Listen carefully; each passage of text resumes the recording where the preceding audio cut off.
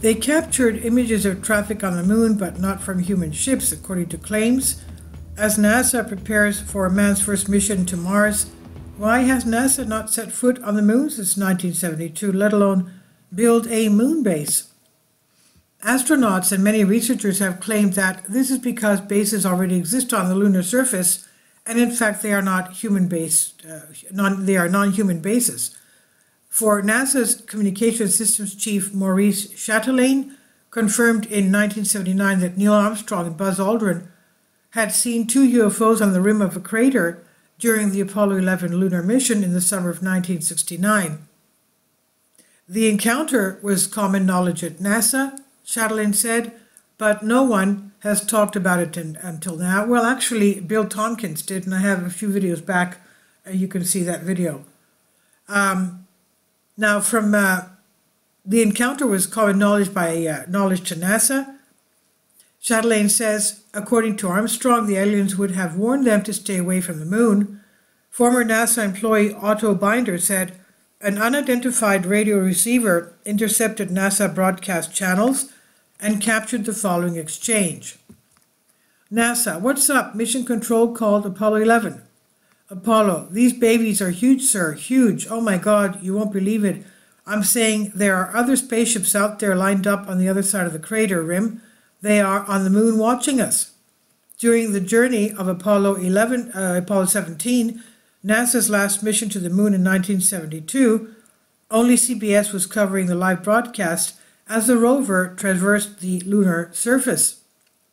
NASA operators on Earth began detecting and directing the television camera mounted on the mobile vehicle to obtain a panoramic view of the lunar surface.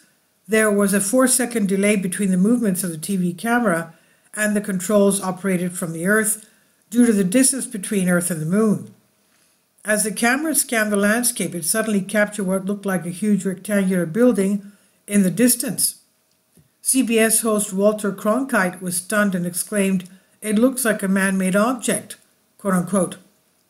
Almost immediately, the live broadcast, along with Cronkite's, was cut off and replaced by an earlier recording labeled Recorded Earlier Today.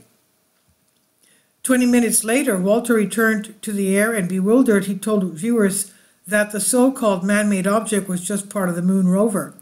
However, the video was never aired again, nor was the incident mentioned again on television, nor in any document known to the public until now. It seems that one of NASA's responsibilities to control what information the public can and cannot see.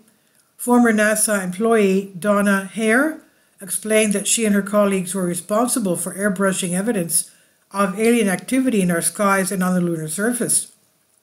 Donna asked her colleague one day, What are you going to do with this information? We have to airbrush this. People who told me it was a cover up said, Never say I said it or else I say I didn't. However, it appears that images of so called alien activity, quote unquote, on the moon have leaked anyway. On October 1st, 2010, China launched its Chang'e 2 moon into orbit.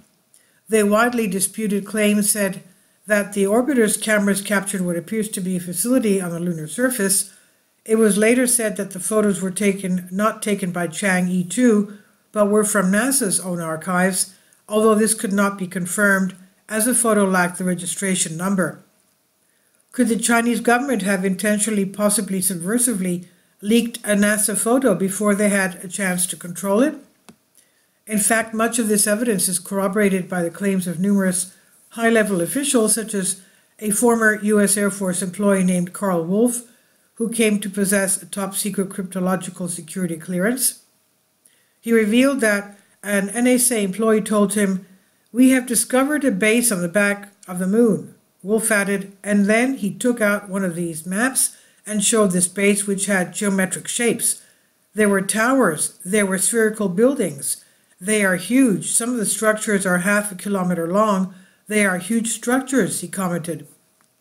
And in another image, there are more of what appear to be giant structures that were obtained during the Apollo 16 mission. But what do you think? Do these things that we are stra- uh, happen that we are strangers on the moon? Do these things happen and we are the strangers going to the moon? And this is by Collective Spark. Please leave your comments. Thank you for your support. Kindly support my Patreon account. The daily posts are five videos daily, and they are totally different from what I have on my YouTube channel. Thank you so much for your support and that you find all my content so interesting. You'll find the Patreon account details in the description box below.